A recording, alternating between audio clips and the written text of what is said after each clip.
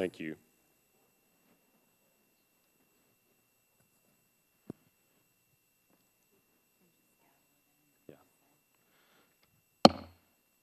Thank you for allowing us in the uh, quick recess there to be able to come and vote. Mr. Gordon, we are going to make your time after all, and I appreciate that. I'd like to be able to yield five minutes to Mr. Murphy. Thank you very much, Mr. Chairman, and uh, I thank uh, witnesses for uh, coming back um, to join us for uh, just another brief uh, few questions. Um, let, let, me just begin by associating myself with the remarks of uh, Ranking Member Conley Connolly on the subcommittee, Ranking Member uh, Cummings. Um, you know, let's not get it. I get that this committee has often been used over the years to advance uh, the majority party's political purposes and their agenda. Um, I think we've gone too far uh, here. Uh, I think in violating House rules and violating basic concepts of fairness, um, we've crossed a line. Um, and I think what you've seen across the country is uh, an unfortunate willingness on behalf of those who would try to use their newfound political power to, uh, to try to um, undermine organized labor and collective bargaining rights to, uh, unfortunately, um, cross that line over and over again, whether it's in uh, Wisconsin with a collective bargaining law that was ruled unconstitutional by the courts are here uh, today.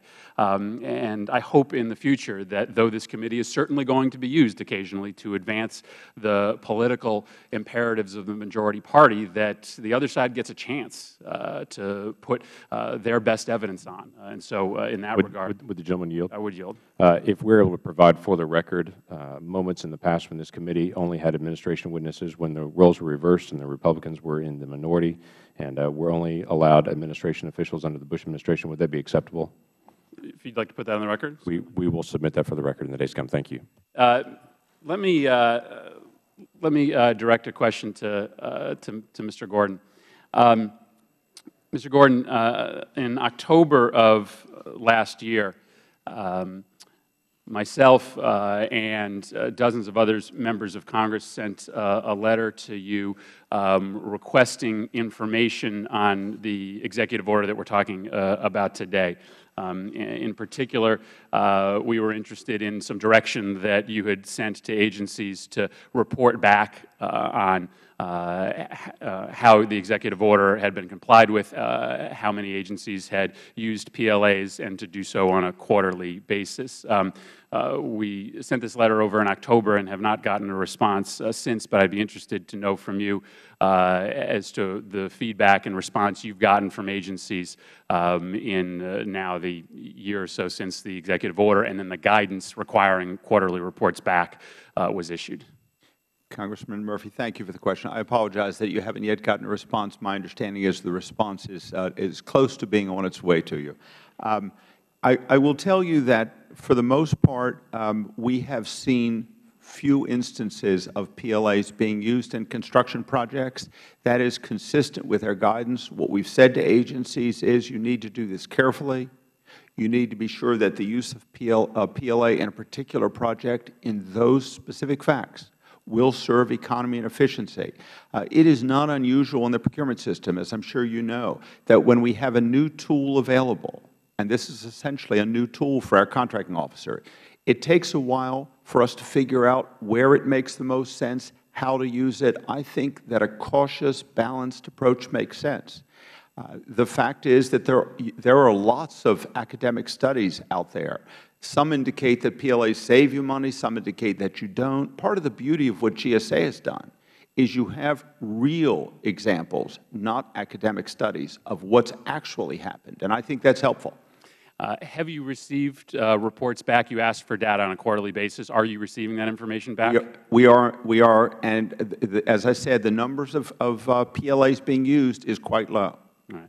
Uh, I would appreciate that uh, response as quickly as possible. This was a group of Republicans and Democrats to show that there is uh, bipartisan support for the use of PLAs when appropriate, and I think it would be useful for us to have that data shared back. I will ensure that that comes to you expeditiously. Let me ask uh, one uh, other question to both of you. Uh, I think one of the points that will be made likely by the second panel um, is that non-union contractors are discriminated against when a PLA is required required that uh, though they can go out and sign a collective bargaining uh, agreement after uh, they are assigned the award, that that puts them in a disadvantage versus contractors who are initially union contractors. Can you talk about that critique? Um, again, we won't have the opportunity to ask this of any minority witness on the second panel, and I imagine it will be one of the primary um, criticisms uh, on the second panel, and so I'd pose it to, to both of you as to whether or not you have seen um, a, a, discriminatory nature against uh, non-union contractors when PLAs have been used. I could say a few words, and then Ms. Britt is welcome to, to supplement them. Um, as you know, the, the Federal Acquisition Regulation rules says that this is not to be used in a discriminatory, a discriminatory fashion. We're trying to increase competition. Um, I'm confident that we can do this in a way that will not discriminate. The fact is that even when project labor agreements are used, very often the subcontractors, for example, are open shops and are not unionized in the, in the workforces. Uh, as we noted in, in the uh, preamble to the Federal Register notice in the rule.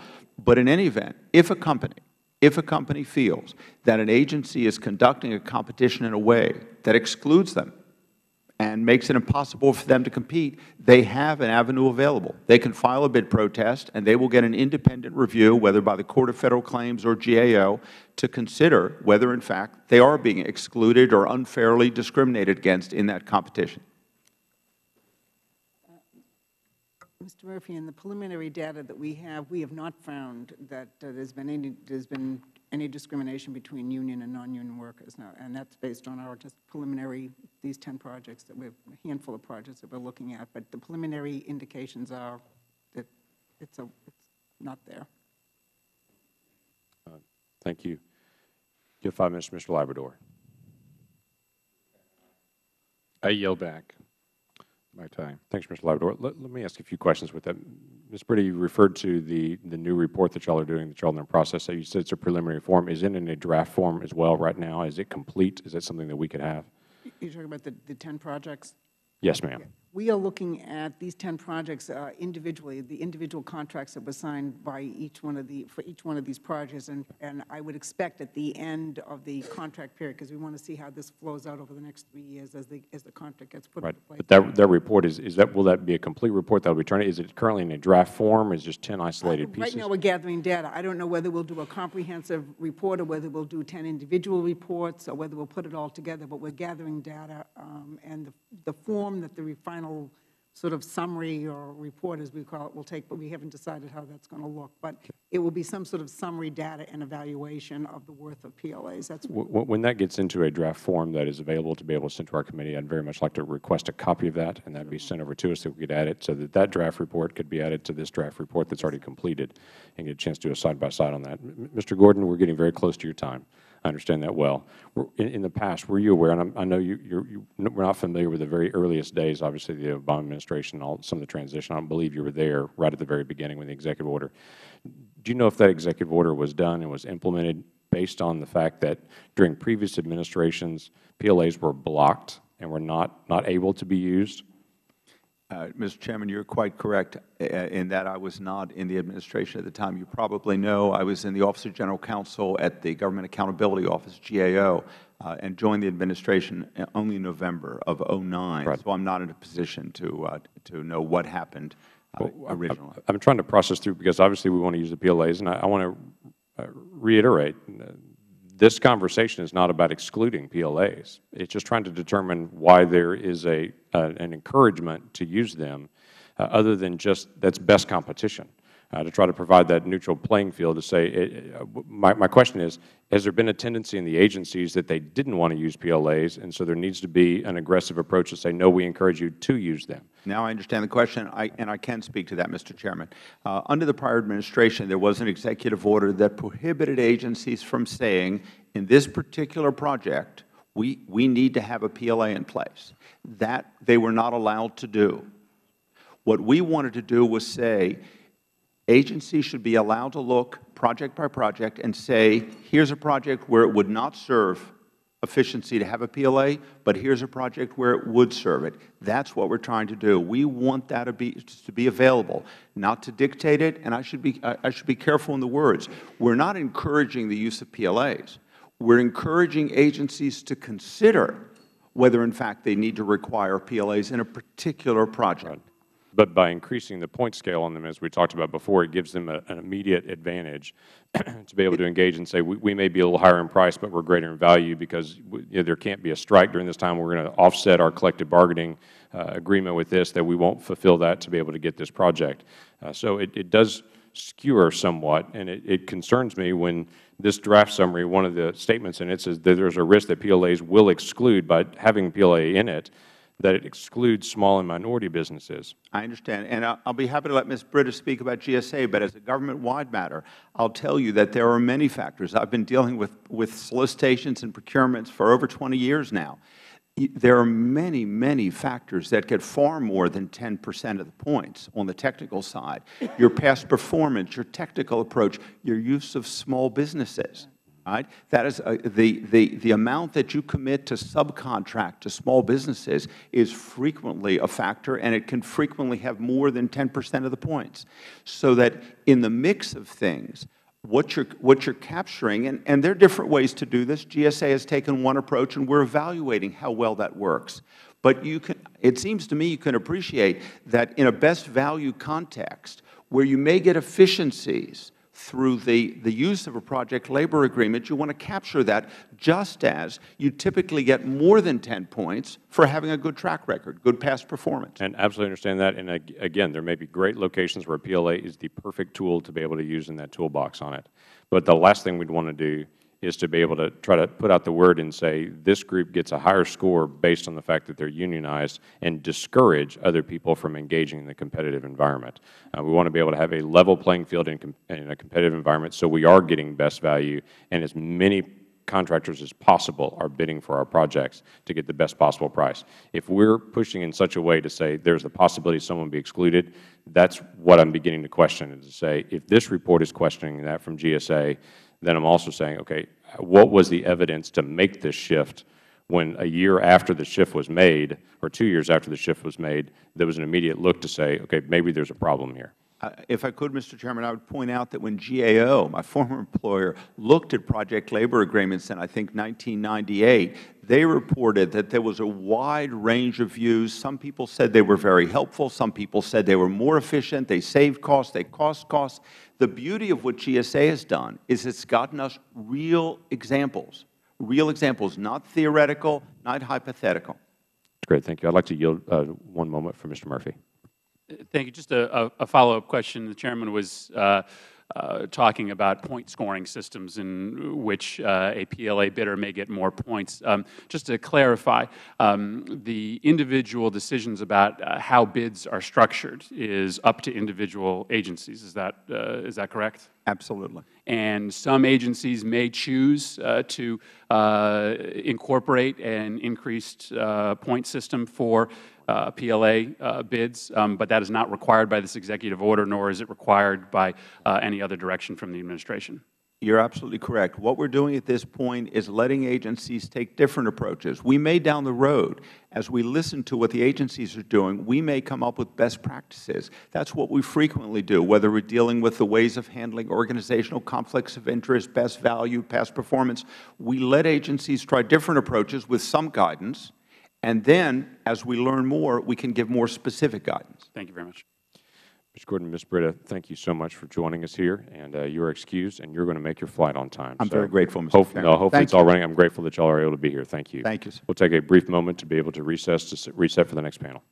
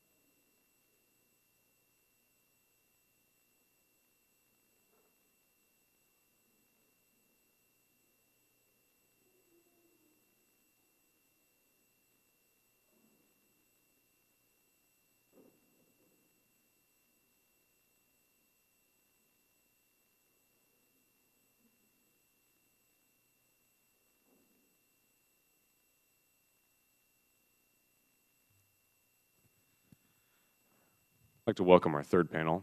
Uh, Mr. Maurice Baskin is a partner with the law firm of Venable LLP and represents the uh, Associated Builders and Contractors. Professor David Tuerck is the Executive Director of the Beacon Hill Institute at Suffolk University. Mr. Kirby Wu is the President of Wu and Associates. And Mr. Mike Kennedy is the General Counsel of Associated, Associated General Contractors of America.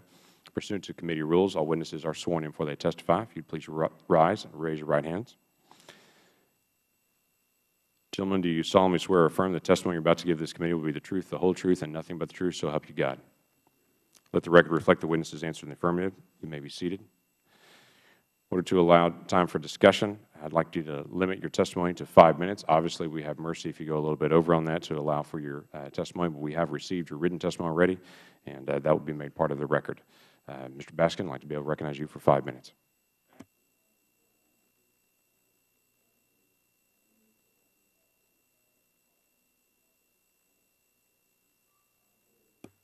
I'm sorry, Mr. Baskin, may I stop you? Is your microphone on? Can you tell if the light is on? How's that? That's Any perfect. better? Thank you. Do I need to start over? I- I just said good morning.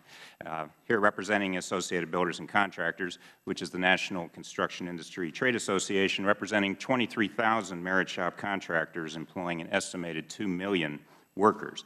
I've previously testified before on the subject of uh, government-mandated PLAs before another subcommittee of this committee, and I've resubmitted that testimony for the record of this proceeding so that I can focus today on the very important bill introduced by Congressman Sullivan, H.R. 735. Uh, this bill is vitally needed to prevent the ongoing waste of taxpayer dollars and corruption of the Federal procurement system that is being caused by the President's Executive Order 13502 and the agency rules that have implemented it. The President's PLA executive order discriminates against 87 percent of construction workers and their contractor employers who choose not to belong to or have contracts with labor unions.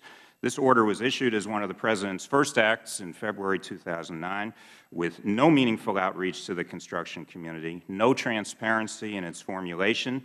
We heard today that representatives of the administration still don't know how it came to be, and no factual justification at all for its findings. Uh, most importantly, there were no significant labor problems on any Federal construction projects during the eight years governed by President Bush's Executive Order 13202, which prevented Federal agencies from requiring or prohibiting PLAs on Federal construction projects or on Federally assisted projects. Uh, in the absence of any problems, and from the manner in which the Obama order was put into effect, it is clear that the only reason for the PLA executive order now in place was and is politics. Having heard or read the testimony of representatives from the Office of Management and Budget and the GSA at now two congressional hearings, uh, we have yet to hear them identify any factual basis in the form of market research or identified labor problems previously existing on Federal construction projects that justifies the Federal Government's new restriction on competition through PLA mandates. Uh, we, we heard today that it's a process and that it's open to competition, but as the members rightly pointed out, there is a preference. The, the thumb is on the scale. It is now being tilted, if not mandated, uh, in favor of these PLAs, and it is impacting competition. They're doing a pilot program, a pilot program that is ongoing in nature, apparently. It's continuing to this day on every GSA project. That, that's a peculiar definition of the word pilot. While they are supposedly gathering market research data, uh, which is contrary to the way that all other procurements have been done in the past. GSA has adopted apparently a, a build first and ask questions later policy, which is contrary to settled procurement principles. At the same time, many academic studies, and we are going to hear more about that later, uh, and research by the government's own consultants, as has already pointed out, have established that government-mandated PLAs increase the cost to taxpayers, reduce the number of potential bidders, and particularly the number of subcontractors to those bidders who are merit shop. They do nothing to improve the quality, safety, timeliness, or overall efficiency of government construction projects. Only Congress can effectively stop the political favoritism in contract awards that is wasting taxpayer dollars and corrupting the Federal procurement process. And that is what H.R. 735, the Government Neutrality in Contracting Act, will do. Uh, H.R. 735 will simply reinforce the existing Federal mandate in favor of full and open competition in all Federal procurements, with specific reference to PLAs. The bill will prohibit Federal agencies once and for all from awarding construction projects based on the improper consideration of whether the contractors are willing to enter into labor agreements. Until this executive order, that had not been the rule of law in this country under Federal procurement principles. As the bill states, agencies shall neither require nor prohibit contractors from adopting PLAs as a condition of being awarded the work, nor discriminate on that basis. The bill is neutral. Can't emphasize that enough. It's neutral on the subject of PLAs. It simply keeps the government out of the process. It closely tracks the Bush executive orders that were upheld by the Court of Appeals for the D.C. Circuit in the Allbaugh case. So there's clearly no basis for a legal challenge to H.R. 735, and it avoids interfering with uh, Federal labor laws because it specifically says that nothing will be construed to prohibit a contractor or a subcontractor from voluntarily entering into uh, a PLA on their own. If they are so great, let the market show it, let them come forward and prove it without it being tilted or mandated by the Federal Government. We applaud your efforts to uh, promote H.R. 735, and I will be happy to answer questions after the other speakers. Thank you, Mr. Baskin. Mr. Tuerck. I am David Tuerck. I'm a professor and chairman of economics and executive director of the Beacon Hill Institute at Suffolk University in Boston, which is a Ph.D. granting um, institution. I would like to thank Chairman Lankford and members of the subcommittee for inviting me, and I appreciate the opportunity to submit testimony on H.R. 735. My comments are my own and do not represent the opinions of Suffolk University, nor do they represent my support for any organization or private interest that might stand to benefit from the passage of H.R. 735, uh, which I heartily endorse. I would like to enter into the record studies of project labor agreements that the Beacon Hill Institute has performed under my direction over the last eight years. Of course, we have already heard about those. Among these are studies in which BHI estimated the effects of PLAs on construction costs for school building projects in Massachusetts, Connecticut, and New York. We found that PLAs added 12 to 18 percent to final construction costs in Massachusetts and Connecticut, and 20 percent to final bids for school construction projects in New York. I suppose we'll get into the uh, comments from uh, Dr. Steele in the question and answer, but uh, since he preempted me, I'm going to make a point about uh, what he had to say. Uh, he accuses us of spurious correlation. Well, I have a buzzword that I can use about his work, which is multicollinearity. Th these are the kinds of um, buzzwords that economists typically use when they're criticizing each other's work in an academic setting. And I'm sorry uh, that he has decided to conduct this conversation in a way that reflects more his outlandish and bizarre characterizations of our work than what we actually did. But we can get back to that later. In another study, we examined the Federal Government's experience with the Bush-era ban on government-mandated PLAs. This study was aimed at determining how the record of construction projects conducted over this period reflects on President Obama's executive order encouraging PLAs on construction projects costing $25 million or more. President Obama claimed that the order was needed because, quote, large-scale construction projects pose special challenges to efficient and timely procurement by the Federal Government. Our study proceeded on the premise that if President Obama is correct about the need to mandate PLAs in order to overcome these, quote, special challenges, unquote, then President Bush's ban on mandatory PLAs should have produced many instances of the delays, strikes, cost overruns, et cetera, against which PLA advocates frequently warn. We asked the associated builders and contractors to assist us in getting the needed data from the Federal Government. Using the Freedom of Information Act, ABC wrote to Federal agencies with procurement responsibilities, including OMB and, and GSA, for information relating to any problems caused by the absence of government-mandated PLAs over the period of the Bush executive order. The result? No respondent to the ABC letters, including the OMB and the GSA, could substantiate the occurrence of any delays or cost overruns on Bush-era projects costing $25 million or more that were attributable to the absence of a PLA. This finding should come as no surprise. The real purpose of a PLA is not to deal with special challenges, but to discourage bids from non-union contractors and to give the PLA unions control over the hiring process. PLAs accomplish this purpose by requiring contractors to follow onerous work rules, to turn away from their own labor force in favor of labor provided by a union hiring hall, and to pay fringe benefits a second time that they already provide their workers. Consider in this light the fatuous nature of the argument for PLAs. The argument presupposes that the work will be performed by the very unions that create the conditions under which the predicted delays, jurisdictional disputes, and work stoppages could occur if a PLA is not adopted. The unions that create these conditions are predestined to get the work, however, only if the PLA is adopted and then has the intended effect of discouraging non-union contractors from bidding. I have read a number of studies, mostly, most commissioned by state and local government agencies, which purport to show that a PLA would save on costs. Typically, however, these studies adopt the same tortuous logic that the unions employ in support of a PLA. The studies show cost savings by assuming away the possibility that a decision not to adopt a PLA might produce lower bids from qualified contractors than a decision to adopt one would produce. However, the best way to avoid cost overruns and delays is to encourage, not to, not to discourage, bids from contractors who are not burdened by the collective bargaining agreements that hobble the competitiveness of the PLA union workers and their contractors. According to government data, the fraction of all construction workers who belong to unions fell by 25 percent, from 17.5 percent in 2000 to 13.1 percent in 2010. So what we have is a state of affairs in which 13 percent of construction workers are attempting to protect their jobs against the other 87 percent and in an added cost to taxpayers.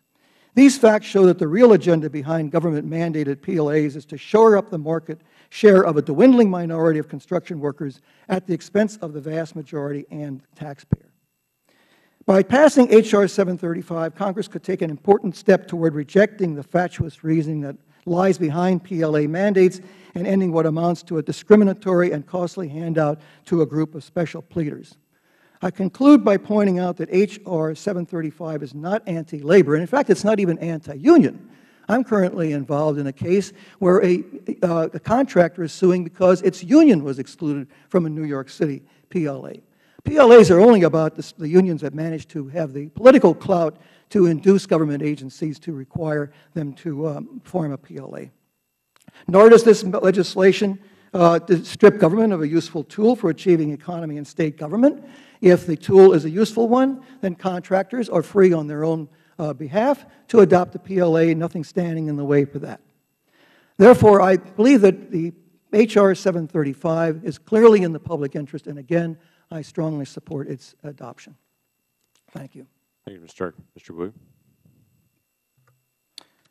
Good morning, Chairman Lankford, Ranking Member Connolly, and members of the subcommittee. My name is Kirby Wu. I'm the president of Wu and Associates, located in Cherry Hill, New Jersey. On behalf of the Associated Builders and Contractors and the Merit Shop contracting community, I would like to thank you for the opportunity to testify before you today in support of the Government Neutrality and Contracting Act, H.R. 735. I hope my testimony sheds some light on how government-mandated project labor agreements harm qualified contractors and employees that want nothing more than to compete on a level playing field to build on-time and on-budget construction projects at the best possible price.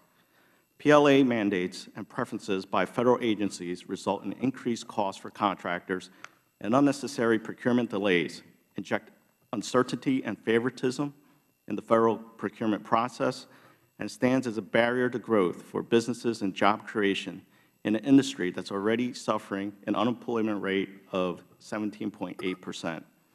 This is why the industry supports legislative remedies like H.R. 735, which restores fairness in Federal contracting and will eliminate waste so the government can build more projects and create more construction jobs.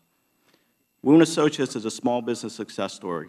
We have grown into an industry-leading, award-winning general contractor specializing in design-build projects, LEED sustainable design, and historic preservation for Federal, State, local, and private clients. Our firm's success depends on the principles of free enterprise and attracting the most qualified, talented personnel and companies for a job, regardless of their labor affiliation. Over the years, we have successfully performed millions of dollars worth of Federal, State, local, and private construction projects without the need to enter into a PLA. The contracting policies of the Federal Government influence the growth and success of small business like Wu Associates, as well as the economic well-being of our employees and their families. PLA mandates place merit shop competitors at a disadvantage and promotes discrimination based on labor affiliation.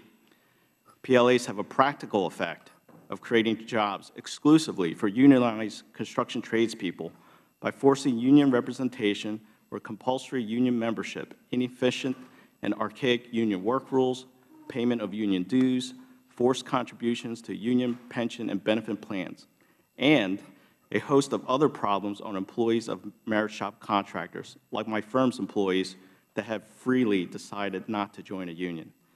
Injecting PLA mandates into the Federal procurement process discourages competitions from qualified contractors like my own, who employ 87 percent of the U.S. construction workforce.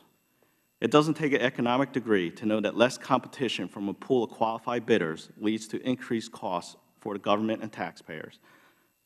If members of this subcommittee thinks PLA mandates somehow advance economy and efficiency in government contracting, please take a look at my written testimony, which describes in great, great detail my unfortunate experience with a Federal PLA mandate that resulted in procurement delays, red tape, and needless litigation costs.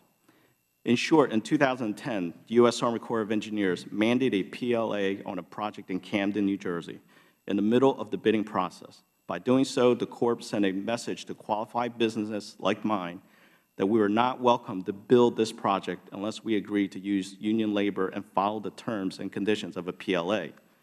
This is ironic because we were previously selected as a pre-qualified contractor to bid this project. After weeks of uncertainty and attempts to get the Corps to reverse the PLA, we were left with no choice but to file bid protests with the Government Accountability Office against the Corps' illegal and discriminatory mandate. Eventually, in the face of a bid protest, the Corps abandoned their PLA mandate, but they replaced it with an illegal and discriminatory PLA preference that enticed contractors to voluntarily submit a PLA offer by giving them additional credit in their technical evaluation of our offer as part of the best value procurement process. We decided not to pursue this contract further because we felt it was not worth investing the additional company resources to prepare a bid and compete against contractors submitting PLA offers in this distorted playing field. This exercise resulted in lost time and money for our small business that we could have invested back into our workforce and company. It also resulted in needless procurement delays exceeding two months as the Corps bid submission deadline was extended a number of times to accommodate the PLA controversy. Remarkably, the contract was eventually awarded to a merit general contractor at a bid price nearly 15 percent below the original $16.5 million estimate without a PLA offer. And today, the project is reportedly on time and on budget. The winning contractor would have been discouraged or eliminated from competing if not for our efforts to fight the PLA mandate. As a taxpayer, it is outrageous that the government are wasting tax dollars and denying opportunity to quality businesses and their skilled workforces to cater to just 13.1 percent of the U.S. construction workforce. I ask that the members of the subcommittee support Mr. Sullivan's Government Neutrality in Contracting Act. Contractors and not Federal procurement officials pressured by special interests should be the ones deciding whether a PLA is an appropriate tool. Wu Associates applauds the Oversight and Government Reform Committee for its continued interest in the issue of government-mandated PLAs. Thank you for the opportunity to testify on behalf of small businesses and merit contracting community. We deserve a fair opportunity to provide the best construction product at the best possible price to taxpayers. Thank you, Mr. Wu. Mr. Kennedy, receive your testimony for five minutes. Good morning, Chairman Lankford uh, and members of the subcommittee. My name is Michael Kennedy, I, and uh, I have the privilege of serving as the General Counsel of the Associated General Contractors of America. I am here today to express the Association's strong support for H.R. 735 and the neutrality that this bill seeks to achieve. AGC is the leading trade association in the construction industry. It has more than 33,000 members in nearly 100 chapters throughout the United States. Among these members are building, highway, industrial, and utility contractors. While some of them are quite large, most are small and closely held. Many are Federal contractors. AGC was founded in 1918, and historically, a majority of its members have been union contractors. Today, such contractors are in the minority, but they remain a large and very important segment of the Association's membership. To this hearing on project labor agreements and H.R. 735, AGC therefore brings a broad perspective. Before turning to the central subjects of today's hearing, I should explain that the labor unions in the construction industry are unique. Unlike their industrial counterparts, these unions have organized themselves along craft lines. One union represents carpenters, another represents operating engineers, another represents electricians, and so on down the line. Industrial unions represent everyone in the appropriate bargaining unit without regard to any differences in their job classifications. But construction unions are different. No one of them represents all of the craft workers on a typical construction project. The individual agreements negotiated with each of these unions are similarly limited. Each agreement covers a separate and single craft. But on the other hand, the typical agreement applies to all of the work that the craft performs in a particular area. PLAs differ from these area-wide agreements in two ways. PLAs are typically negotiated with several unions and therefore cover several crafts. And as the name suggests, PLAs are limited to individual projects and are not area-wide. The historical purpose of PLAs, dating back to a time when unions represented nearly 90 percent of all construction workers, was to eliminate inconsistencies in these area-wide agreements that would otherwise apply to particular projects, such as differences in work rules and expiration dates. Then and now, PLAs typically supersede such area-wide agreements. Over the last 60 years, as the percentage of construction workers that unions represent has fallen below 14 percent, project labor agreements have become less and less relevant. A large majority of today's work is not subject to any agreement with any labor union, and the need to address differences between and among labor agreements has greatly diminished. Open shop contractors are free to coordinate their employment practices entirely on their own initiative and without changing or superseding any prior agreements with labor unions. In this new environment, union contractors are more likely to seek PLAs for the purpose of meeting their open shop competition. Without seeking to open or reopen their area-wide agreements, such contractors can seek the more favorable terms or conditions they may need to compete for individual projects. AGC neither supports nor opposes PLAs per se. The Association takes the position that such agreements are just another of the many tools that contractors not owners, but contractors, should have at their disposal as they seek to meet their clients' needs. At the same time, AGC strongly opposes government mandates for PLAs, or area-wide agreements, or any other labor agreements for publicly funded construction projects. The National Labor Relations Act commits such matters to the discretion of construction employers and their employees. And for a host of reasons, AGC believes that government contracting agencies should follow suit. As we have already heard, government mandates for PLAs discourage competition. They typically require open shop contractors to make fundamental changes in the way they would approach an upcoming project and to incur costs that such contractors would not otherwise incur. Such mandates may also trouble union contractors. They may also require union contractors to make significant changes in the way they would approach a project. Indeed, their typical purpose and effect is to deprive, is to deprive union contractors of the opportunity to work under the area-wide agreements that these contractors have already negotiated. Government mandates can also disrupt the bargaining over area-wide agreements. They invite the construction unions to bypass the contractors for whom their members work and seek to negotiate with what may be inexperienced public officials. They also give unions the leverage to make demands that the unions could not otherwise make. Beyond that, it remains clear that construction contractors are in the best position to determine whether, and if so when, a PLA will help them meet the government's legitimate interest in having its projects constructed on time, within budget, and to all specifications.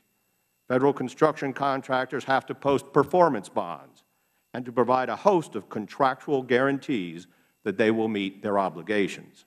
It follows that these contractors already have ample incentive to consider any PLA or other labor agreement that would make it easier or less expensive for them to perform their work. In sum, AGC supports H.R. 735. AGC would suggest that the committee make a technical amendment to Section 3D, where the bill authorizes an exemption from its substantive provisions under special circumstances. As currently written, this provision actually tilts the scale against union contractors. But AGC believes that the problem is inadvertent and can be quite easily corrected. Thank you again. Let me simply repeat that AGC opposes Federal mandates for project labor agreements and supports H.R. 735. Thank you. Thank you, and I want to thank all the witnesses for being here. Mr. Wu, it's, uh, it's good to see somebody who spent a little bit of time in Pittsburgh in the room beside myself. So I, I saw your time at, at Carnegie Mellon and Professor Tuerck. I, I think your, your, your background kind of speaks for itself. I don't know that anybody could question what you've done. So I am you, Congressman. I wonder if I could make a correction, though. I inadvertently said Dr. Steele, and I meant Dr. Phillips. I have no idea why I said that, but I'd like to get the name right. Okay, that's fine. We'll note that. I am going to recognize myself for five minutes. And, and I think this is critical because this hearing today is not about unions or non-unions. It's not about who gets the bid or who doesn't get the bid. It's about fairness. And certainly, if the President's executive order is based on something that he thought was unfair, anybody in the panel, is there any instance anywhere that would have caused the President to issue this executive order. I can't find anything in any of the testimony on any of the witnesses that would suggest that there was a problem that existed in the bidding process. And having done many RFPs myself and looking at it, I tend to feel the other way, it is, it is extremely exclusionary, and it does tilt the playing field. So if anybody, and Mr. Baskin, Professor Tuerck, Mr. Wu, Mr. Kennedy, if anybody could offer anything that would perhaps shed some light on why this is in fact issued, and why does it have any, any importance to what it is that we're trying to do, if it's about fairness? Well, can respond, if I can respond first, I think Certainly. Professor may also speak to it, but as indicated, as we heard from the witnesses earlier, they have no specific labor problems on previous contracts uh, uh, procured under the Bush order. There was no problem. I think it's been referred to as a solution in search of a problem. Uh, The only justification for it has to be political because of the way it was implemented with no outreach and with no identified uh, real-world circumstances in which problems had arisen without PLAs being mandated by the government. It's just totally unnecessary and contrary to decades of law as well as the Competition in Contracting Act that requires full and open competition on Federal projects. Professor? We did all we could to find out if there were any uh, uh, contracts under the Bush administration that uh, suffered for lack of a PLA and simply couldn't come up with one. It was not only the FOIA letters that ABC sent out, we combed through government databases, uh, looked over survey results uh, from a national survey, everything we could to find out if there were any, and there simply were not. Uh, And I do remember a campaign speech that President Obama made in which he promised project labor agreements. So again, I think that's probably the best explanation for the executive order. Wu, and Associates, frankly, uh, we would not bid a project that would have a project labor agreement on it.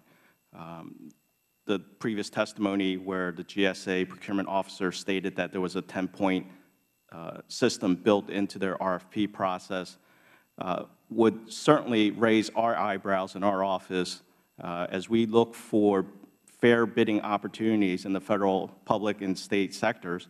Uh, that would be something that would jump out right away, and it would probably be a project that we would not pursue. Because I would agree with you, Mr. Kelly, that on the private sector side, every dollar matters. Uh, To put, it, to put together a bid in the millions of dollars takes a tremendous amount of time and resources for our company, and if there's the slightest disadvantage going in, uh, it would strongly discourage us from bidding the project. Mr. Kennedy?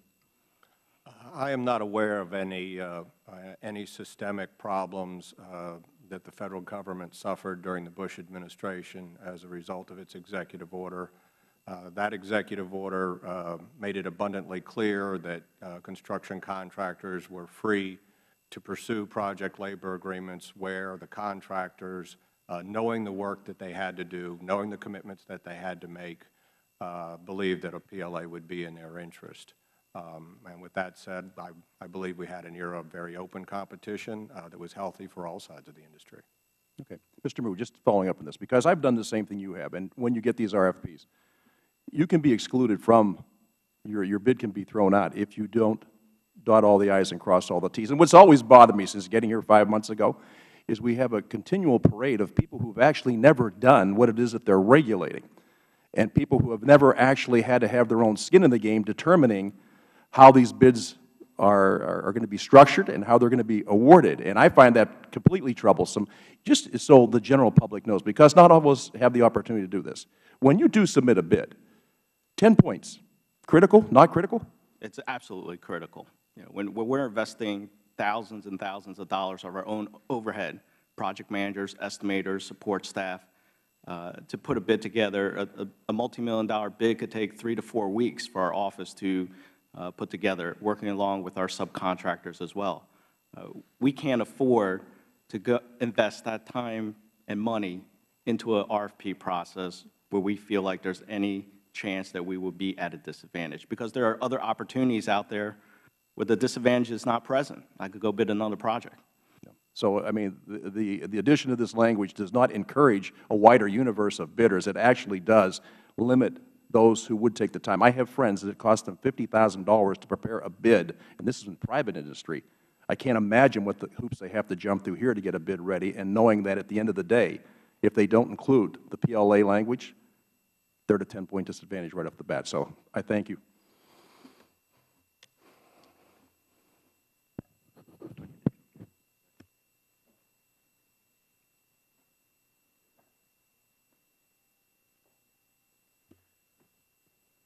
Thank you for allowing me to slip out. I'd like to be able to recognize Mr. Murphy for five minutes of questions. Thank you very much, uh, Mr. Chairman. Uh, Mr. Chairman, I'd like to submit a letter to the record um, from uh, the uh, president of Toyota. Uh, and uh, in it, he says this, Toyota has used and required project labor agreements uh, on many of their biggest and most important projects. He says that Toyota has consistently employed project labor agreements for our major construction projects, and we could not have been more pleased with the results. To date, approximately 45 million man-hours have been invested in the construction of nine automobile, truck, and component plants in the United States. In each and every instance, these projects were completed on time and on budget and with an exemplary safety record. Toyota, as well as major American and international companies like Boeing and Walmart have made the decision to require project labor agreements because they think it's the best business practice for them. Um, and so let me ask this question to each of the panel members, and I just need a yes or no answer. I've only got five minutes here. Do you think that we should pass legislation as a Congress that would prohibit the requirement of PLAs uh, in private sector construction work? And I just need a yes or no uh, answer to that question. Prohibit the requirement of. That would, pro that would, pro that No, would nobody- prohibit. that- Nobody's asking for that on, well, I'm not. Uh, I'm asking, would you, would No. you, you wouldn't support that? Would you support that legislation? Certainly not. No, I would not. Where a private owner is backing a decision to require a PLA with its own resources and has the flexibility to use delivery systems that are not available in the public sector, I see no reason why the government should step in and, and interfere with that. Thank you, Mr. Kennedy. So I hear a lot of talk from my Republican friends and from my conservative friends about how uh, the government should run more like a business. But what you're proposing to do here, even in an act that has some nice words about neutrality, is to take away from the Federal Government a tool that a lot of private companies use, which is a decision that they make that a requirement that PLAs uh, be uh, used in construction projects is good for their particular project. What we're asking here today is for that tool to be taken away from the Federal Government. Uh, and as we've heard over and over and over again, there's nothing mandating that this be used. Project by project. All the Federal order does is just encourage a look at whether a PLA would be worthwhile, as many private companies have. And so I'm searching here for why we have a double standard. I think we're all searching for why we have a panel with only witnesses that are critical of PLAs. And so uh, I, look to the underlying political motives here. Uh, Mr. Tuerck, you said in your testimony that you're not here out of an anti-union bias, that this isn't about unions, this is about the best use of taxpayer dollars. Um, but, uh, Mr. Tuerck, just uh, about two months ago, you wrote a piece entitled, Let's Put an End to All Collective Bargaining. And in it you wrote, referring to what was going on in Wisconsin, the Wisconsin episode is therefore just the leading edge of a political moment, movement that could, if conducted skillfully, make it possible to unravel pu public support for the unions in so dramatic a fashion as to change the face of American politics. This would indeed be a wonderful thing to behold. So let me ask you this. Do you stand by this blog post, this article that you wrote, in which you call for an end to all collective bargaining? Oh, I most certainly do. Uh, but I want to make a distinction here. I'm here limiting my remarks to this particular piece of legislation. And I, uh, the committee is, of course, free to um, evaluate my remarks here on the basis of things that I've said elsewhere, like this, for example. But uh, what I'm presenting here are opinions based on research, not just my broader opinions about uh, how collective bargaining fits into 21st century America. So yes, I think that, I think that we're finding out in state after state uh, the harm that collective bargaining has done when it's allowed between uh, government workers and their governments. Even Massachusetts has faced up to the reality and, and done something about the excesses of the union power within the, um, within the, uh, the, among government workers.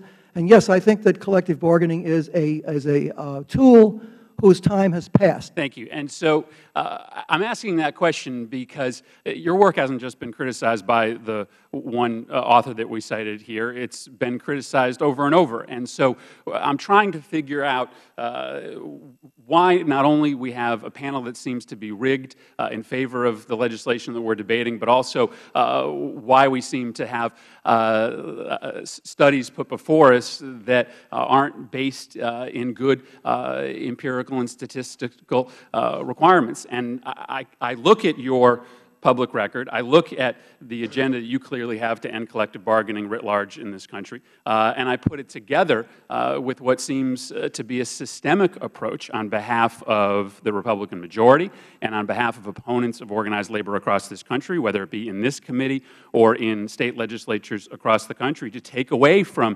individuals the ability to collectively bargain and to take away from government the very tool that private companies use uh, on a regular basis, which is if they believe it is in the best interest of that particular bid to require a project labor agreement. That's all the executive order does. And because this seems to be a hearing that has much to do about nothing, uh, I, I, bring to the table a political agenda which seems hidden but incredibly relevant. And with that, I'll yield back the balance of my time. Uh, may I respond? Uh, hold on just a moment. Uh, I do want to accept without objection the Toyota letter into the record that you had mentioned earlier that you requested to have into the record. Mr. Tuerck, it is actually my moment uh, for questioning at this time, and so yes, you'd be uh, free to be able to respond to that. First of all, the um, quality of our statistical work has nothing to do with anybody's opinions about uh, collective bargaining or political issues. I'm not responsible for the invitations that went out for this meeting. Uh, had I had anything to say about it, I would have wanted Dr. Phillips here so that I could have rebutted his attack on our works, as bizarre as it is. And fi finally, uh, the, the uh, work that we have done has in fact appeared in a peer-reviewed journal. It, the, our study of Massachusetts was published by an online journal out of Bentley University. And so the idea that the, these numbers that we're coming up with are just made up out of thin air is, is, is, itself completely wrong. We have a lot at stake. We are a PhD granting Department of Economics that, that survives and prospers only by virtue of the integrity of our work. Our work has been out there for years, and if anybody wants to find problems with it, they are free to. Uh, Dr. Phillips has tried. His attacks, I think, are wrong. But again, those are the kinds of things that we could argue in another forum. Thank you. Mr. Chairman, may I respond to the Congressman's question that was unanswered about why all yes, you may. the panel said that we don't need legislation uh, to prohibit private sector PLAs, and that's because the National Labor Relations Act already has protections about them to say that they must be voluntarily entered into, not coerced, and entered into only by employers in the construction industry. And what we have going on here under the Obama order is a mandate. It is coercion of uh, contractors, the private employers, on Federal agency projects in which the executive order encourages those agencies to, in fact, mandate or discriminate in favor of them. And that's what the current laws prohibit. So that's why we don't need a change in those laws. Mr. Chair, Mr. Chairman, the, the gentleman is responding directly to me. Would you yield one? I would. I'll yield one minute. I, I, you've used a lot of words here. You used corruption several times in your testimony. You've now used coercion. Um, I, I, I think I think we need to tone down the level of rhetoric here when we're talking about an executive order that simply asks individual agencies to consider PLAs when appropriate. Uh, I think by any reading of that, it's A, hard to uh, suggest that there's anything that is coercive about that executive order, and certainly in your testimony in which you suggested that it corrupted the process. Uh, I think those are strong words with legal ramifications that you should be very careful about using before the United States Congress. And if I may respond. Yes, you may. They are merited uh, because we have been seeing the uh, Federal procurement process divorced from the rule of law. For decades it was established that labor uh, backing, labor affiliation was irrelevant to responsibility of contractors. And by attaching that to this process, it is uh, rank favoritism, it is not permissible under the law, and until it stops, we have to say what it is if anything is to be done about it. Mr. Baskin, are you seeking a, um, an advantage in the contracting process by saying that uh, PLAs are not are a neutral ground? Is that some advantage that you are seeking? No. Neutrality is the word. Okay. So at, at this point, based on your testimony before, it's not an issue if you are bidding against someone that has a, a PLA or a non-PLA, union shop, non-union shop, that's irrelevant to you as long as it's a level playing field when you go in to actually do the bidding. Yes, ABC has members who have signed union contracts, so does AGC uh, and many more uh, who have not, because 87 percent of the market is, uh, of the industry is non-union. But the merit shop philosophy is work should be awarded and performed regardless of labor affiliation. That should have nothing to do with it. May the best, most responsible contractor win, do the best work for the best price. That's all we are looking for, and that's all the Federal taxpayers should be looking for. Thank you. Mr. Wu, you mentioned before that you've actually backed out of a contract during the bidding process when you saw the direction it was going, that it was going to really take a PLA you know, contractor to be able to do that.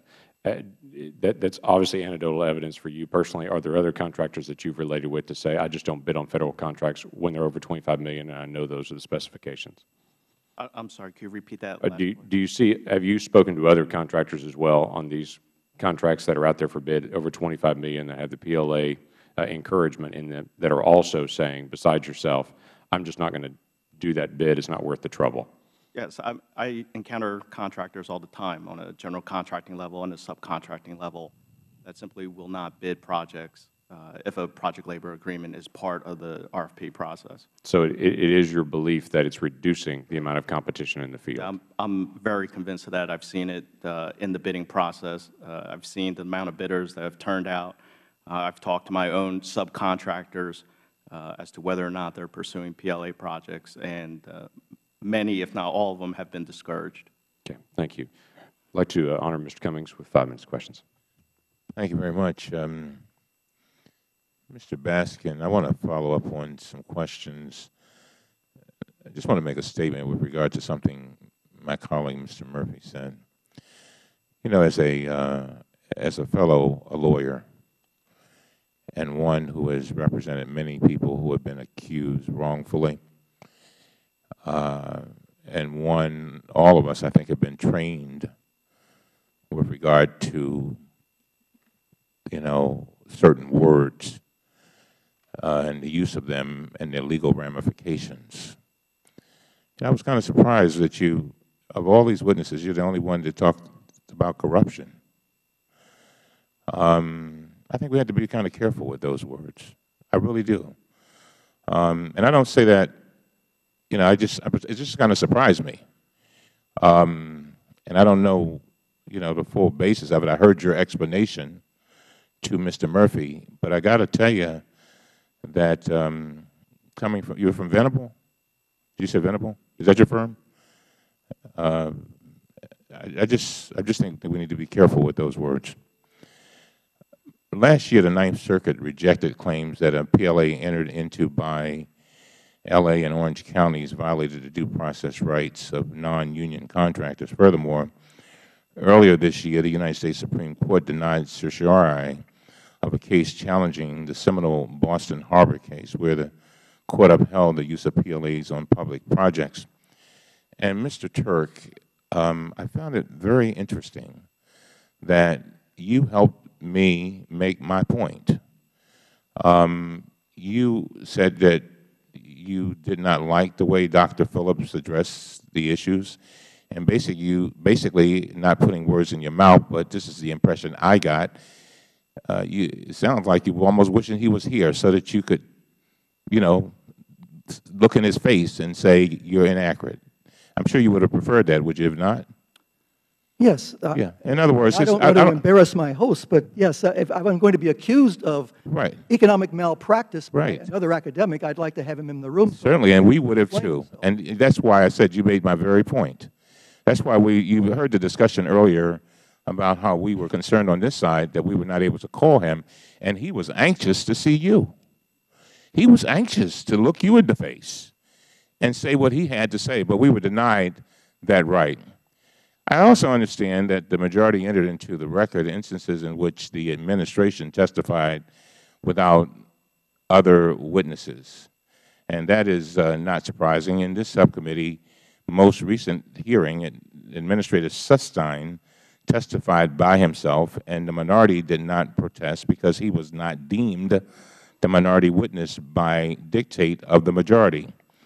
What is unprecedented is that the minority accept the administration witness as their own when the majority has invited them and invited other private sector witnesses. I'd like to make that very, very clear. And if there are instances where it's happened in this way, uh, the way this happened today, uh, that is the denial of a witness. Uh, in this, under these circumstances, I'd like to, I hope the Chairman, I know you said you're going to be looking into it, and I look forward to uh, hearing that from you. And I want to make it clear, a reason why we're spending so much time on this is because um, all of you, I think, want sun, sunshine. You want, you talk about a fair process. That's all you, that's all you all been talking about. Fair process. Somebody, I think it was you, Mr. Baskin, that's talked about level playing field. Well, guess what? We want a level playing field too. And so, um, Mr. Chairman, I'm, I, I just, um, we had uh, a, just extensive testimony, Mr. Tuerck, uh, and one of the things, from, from Dr. Phillips, that is, and I hope that one day, since we've now had two hearings on this issue, and at the rate we're going, I'm sure we'll have more. So perhaps the next time uh, we'll have a chance to bring you back, Mr. Tuerck. I think Mr. Baskin said he's, you've done two. Well, you're on a roll.